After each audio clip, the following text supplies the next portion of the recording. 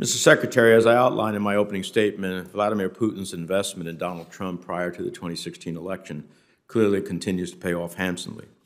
Withdrawing troops from Germany, troops in Germany is not about Germany. Troops in Germany is about our own national security interests.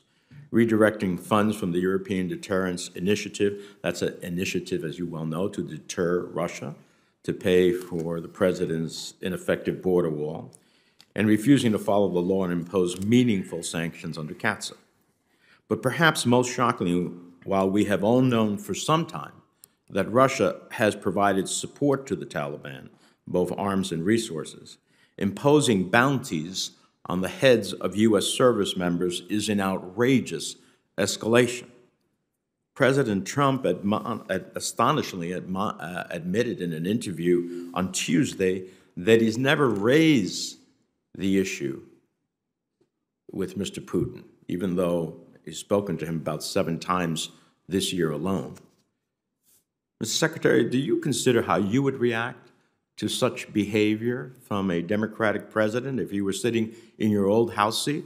Would you be okay with a president who abandoned our troops but not even raising this with the Kremlin? Mr. Chairman, you, you a ranking member, uh, you've identified four uh, items where you're concerned about our actions with respect to Russia. I'd like to address each of them.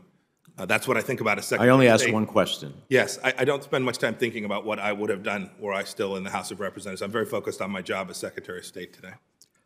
Would you be okay? All right, let me ask you this.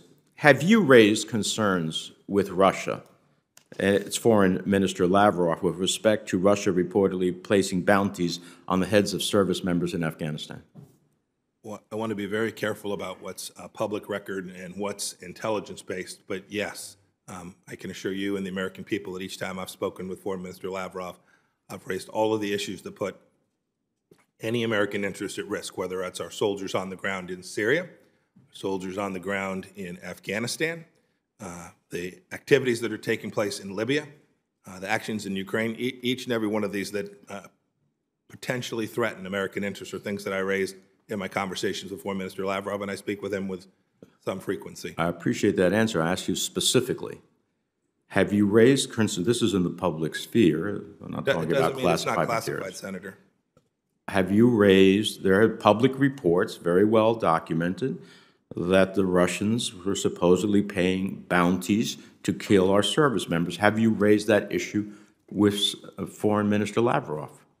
Senator, I'm going to be more careful than you're being with respect to the intelligence. I'm, I'm going to I'm going to tell you that make no mistake about it.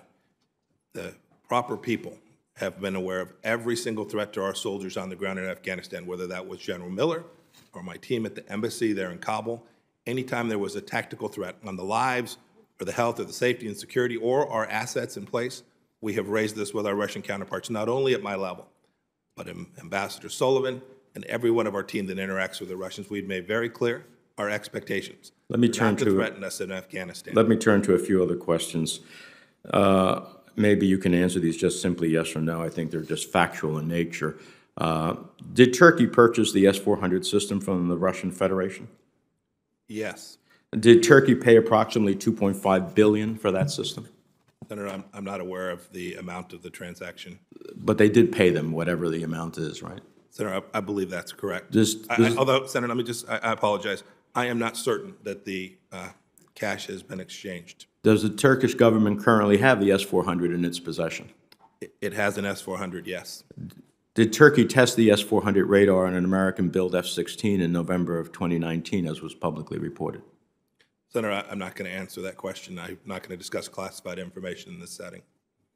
Has the president raised the S-400 with uh, President Erdogan? Uh, I don't talk about things that the president speaks about with foreign counterparts. Uh, The, the White House is free to do that if they choose, but I, I'm not going. So let me ask you a simple question. You sent me a response just on Monday saying that you take your responsibilities under CAATSA seriously and that you fully intend to comply with the law. Well, all of these elements clearly are in violation of CAATSA.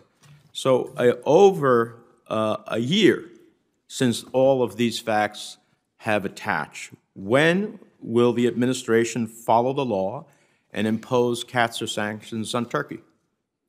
Senator, in response to the Turkish government's uh, acquisition of the S-400, we've taken significant actions uh, that have had a real impact on Turkey. We've pulled out a very significant weapons program that they were building significant pieces of inside of Turkey, the F-35 program, and we continue to evaluate uh, how to apply sanctions in order to achieve our end objective. Our end objective isn't uh, to punish, it's to ensure that uh, our NATO partner uh, acts in a way that's consistent with American national security and the security of our NATO partners as well. Our diplomats, Ambassador Satterfield on the ground, are working diligently. I, I had a very pointed question. I know that you're a Harvard graduate, West Point graduate. You know what my question was. Uh, it's not about everything else, it's about CAATSA. Uh, but uh, you've decided not to answer that. So let me go to the final question.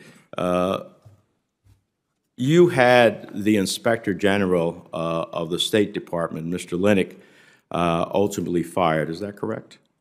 Uh, I, I recommended to the president that he be terminated, yes. And you recommended it to the president he be terminated. Why? Because he was conducting investigations that may affect you? Senator, at the time I made the recommendation to the president, I was unaware of any of the investigations that were ongoing, that he had ongoing at the time, with one exception. I was aware of an investigation that he had asked me to uh, provide testimony. I provided that testimony. Other than that, I was unaware of any investigation. It's not remotely the reason. Uh, Was uh, your undersecretary, Mr. Bulatao, aware, and didn't he speak to you about it? He did not speak to me about it. Well, you said that the IG was not performing in the way he should have uh, because he wasn't following, in essence, what you wanted to. Well, inspector generals aren't supposed to follow what the department head wants to. They're supposed to be independent in pursuit of their mission.